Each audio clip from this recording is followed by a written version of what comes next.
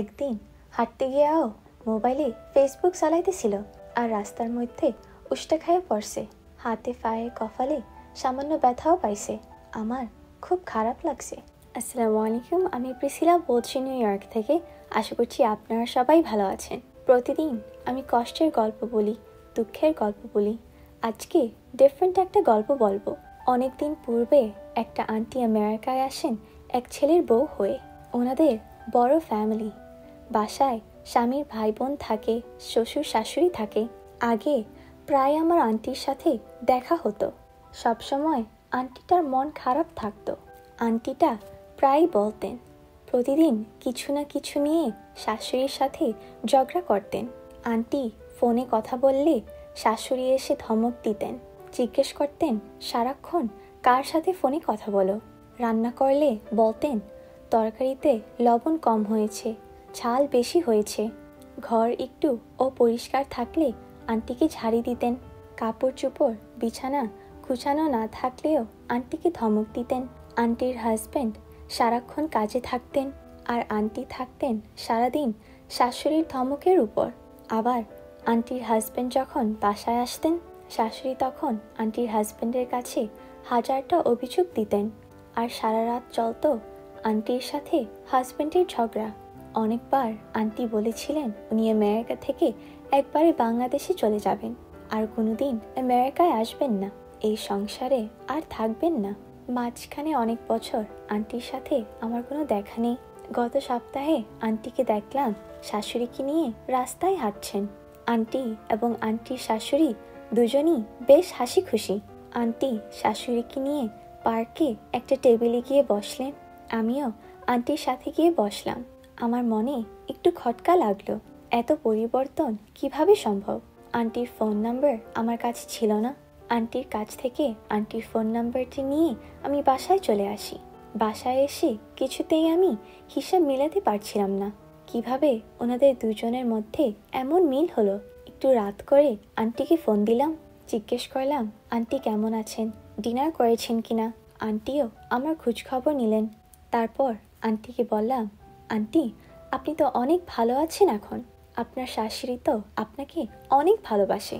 Aunty তখন এমনভাবে হাসা শুরু করছিল যে কিছুতেই ওনার হাসি থামাতে পারছিলেন না। কিছুক্ষণ পর উনি আমাকে সব কিছু খুলে বললেন, আন্টির শাশুড়ির সাথে আন্টির যে সমস্যা হচ্ছিল, আন্টি এই বিষয়টা সবাইকে বলতেন।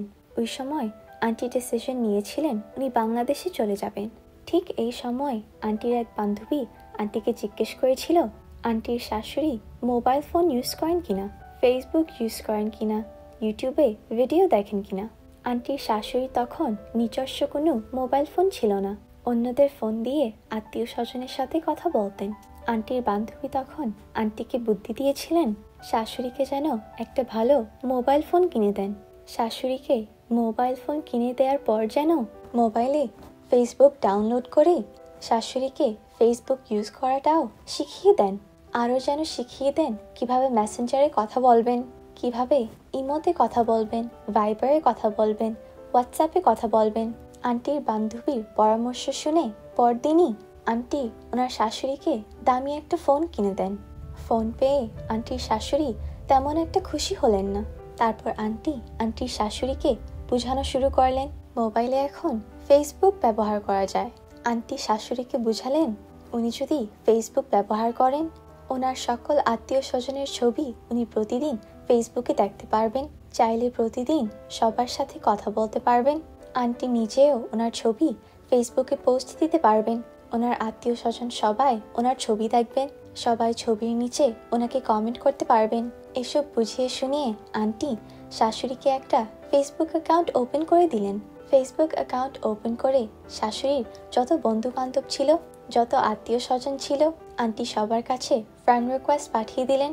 শাশুড়ির সুন্দর একটা ছবি প্রোফাইল পিকচারে দিয়ে দিলেন। এক রাতের মধ্যেই আন্টির শাশুড়ির শত শত ফ্রেন্ডস হয়ে গেল। পরদিন সকালে নাস্তার পরই আন্টি শাশুড়িকে ফেসবুক দেখাতে লাগলেন। আন্টি শাশুড়িকে দেখাতে লাগলেন, এটা আপনার বড় মেয়ের ছবি, এটা আপনার ছোট মেয়ের ছবি। এটা আপনার নাতির ছবি, এটা আপনার মেয়ের জামাইয়ের ছবি। এই দেখেন, আপনার মেয়ের জামাই সিঙ্গাপুরে ঘুরতে গেছেন। এই দেখেন, আপনার আরেক ভাই কক্সবাজারে আছে এখন। শাশুড়ি তো পুরাই অবাক। শাশুড়ি আন্টিকে বলেন, বৌমা, তুমি এত কিছু কেমনে জানো? বৌমা তখন শাশুড়িকে বললেন, আম্মা আরও আছে। তখন মেসেঞ্জার ওপেন করলেন। মেসেঞ্জার ওপেন করে শাশুড়িকে বুঝিয়ে দিলেন, কীভাবে মেসেঞ্জারে কল করা যায়? কীভাবে মেসেঞ্জারে ভিডিও কল করা যায়? আন্টি, শাশুড়ির বড় ভাইকে মেসেঞ্জারে একটা ভিডিও কল করলেন। একজন নিউ ইয়র্কে আরেকজন বাংলাদেশে দুজন দুজনকে দেখছেন মোবাইল ফোনে কি যে আবেগ, কি যে কান্না, কি যে খুশি। দুজনের খুশি দেখে আন্টিও অনেক খুশি। এভাবে আন্টি, আন্টির শাশুড়িকে প্রতিদিন ফেসবুক মেসেঞ্জার ইমো হোয়াটসঅ্যাপ ভাইবার সব কিছু ট্রেনিং করিয়ে করিয়ে সোশ্যাল মিডিয়ার হেডমাস্টার বানালেন। এখন আর আন্টির শাশুড়ি, আন্টির সাথে ঝগড়া করেন না। আন্টিকে জিজ্ঞেস করলাম, আন্টি, আপনার শাশুড়ি কেন ঝগড়া করেন না? আন্টি বললেন, আরে প্রিসিলা, ঝগড়া করানোর সময় কই? ওই সকালবেলায় ঘুম থেকে উঠা মোবাইল নিয়ে বয়। টয়লেটে যাওয়ার সময়ও মোবাইল হাতে লইয়াই টয়লেটে যায়। খানা লইয়া এখন আর কোনো ঝগড়া করে না। যেইটা দেই হেরাই খায়। লবণ কম না মরিচ বেশি? এই সবের দিকে কোনোই খেয়াল নাই। এখন তো আমি প্রতিদিন রান্নাও করি না। এক সপ্তাহ রান্না একলগে কইরা ফেলি। ফ্রিজে রাখা দেই, গরম কইরা সবাইরে দেই। সংসারে আমার কোনোই ঝামেলা নেই। আমার শাশুড়ি আমার লগে ঝগড়া করব কোন সময়? কতক্ষণ মেসেঞ্জারে কথা কয়? মেসেঞ্জার বন্ধ হইলে হোয়াটসঅ্যাপে কল আয়ে। হোয়াটসঅ্যাপে থাকতেই আবার আরেকজন ভাইবারে কল দেয়। সারাদিন তো আমার শাশুড়ি ফোন আর ফোন লইয়াই থাকে। কয়দিন আগে আমার শাশুড়ি আমারে কয়, কি ফোন কিনা দিছ? তিন ঘণ্টা পরই চার্জ জায়গা। শাশুড়ির কথা শুনি আর হাসি। এখন শাশুড়িরে একটা দামি পাওয়ার ব্যাংক কিনা দিছি। চার্জ শেষ হয়ে গেলে পাওয়ার ব্যাংক কানেক্ট করে চালাতে থাকে। আমার শাশুড়ির হাই প্রেশার আবার ডায়াবেটিস রক্তে কোলেস্ট্রল বেশি। ডাক্তার বসে প্রতিদিন সকালে হাঁটতে, উনি হাঁটতে চায় না। সারাক্ষণ মোবাইল নিয়ে বয়ে থাকে। প্রতিদিন সকালে জোর কইরা হাঁটতে নিয়ে যায়। একদিন হাঁটতে গিয়াও মোবাইলে ফেসবুক চালাইতেছিল আর রাস্তার মধ্যে উষ্টা খায়ে পড়ছে। হাতে ফায়ে কফালে সামান্য ব্যথাও পাইছে। আমার খুব খারাপ লাগছে। আমি আমার শাশুড়িরে বুঝাইয়া বলছি, আম্মা, রাস্তাঘাটে হাঁটতে ফোন ব্যবহার করেন না। ঘরে বইয়া যত মন চায় ব্যবহার করেন। রাস্তাঘাটে কইরেন না, মা। শাশুড়ি কি আর আমার কথা শুনে আন্টি ফোনে হাসে আর বলে আমার শাশুড়ি এখন ফেসবুক ব্যবহার করতে করতে মার্ক জাকারবার্গকে সারিয়ে গেছে। উনি এখন ফেসবুকের বিশাল বড় ইঞ্জিনিয়ার আমার শাশুড়ি এখন মোবাইলে মানুষকে অ্যাডভাইস দেন, কীভাবে ফেসবুক ব্যবহার করব, কীভাবে হোয়াটসঅ্যাপ ব্যবহার করব। ওনার শাশুড়ি নাকি এখন মাঝে মাঝে সেলফিও তোলেন। এই বিষয়টা নিয়ে আমি কোনো মন্তব্য করছি না। ভালো বা খারাপ কিছুই বলছি না। তবে এই বিষয়টা থেকে আমি একটা জিনিস বুঝতে পেরেছি। মানুষের যখন বয়স হয়, যখন একা থাকে, ওনাদের এমন কিছু মানুষ প্রয়োজন যারা ওনাদের কথা শুনবে, যারা ওনাদের কিছু সময় দিবে। আমরা যারা ইয়াং আমরা সবাই কাজ করি বন্ধু বান্ধব নিয়ে থাকি, আমাদের দিনটা সহজেই কেটে যায়। কিন্তু একজন বয়স্ক মানুষের জন্য চব্বিশটা ঘণ্টা অনেক সময়। আমরা সবাই যেন ওনাদের প্রতি একটু সচেতন হই, ওনাদের শেষ বয়সটা যেন একটু ভালো কাটে। আমরা যেন সবাই এই বিষয়ে একটু খেয়াল রাখি। আমার আজকের এই স্টোরিটা যদিও একটা রিয়েল স্টোরি এটা যদি কারও সাথে মিলে যায়, এটা সম্পূর্ণ আমার অনিচ্ছাকৃত। প্লিজ আপনার সামনে যদি কেউ এমন থাকে, ওনাদের নিয়ে হাসাহাসি করবেন না। আসুন, একে অন্যকে সম্মান করি, শ্রদ্ধা করি।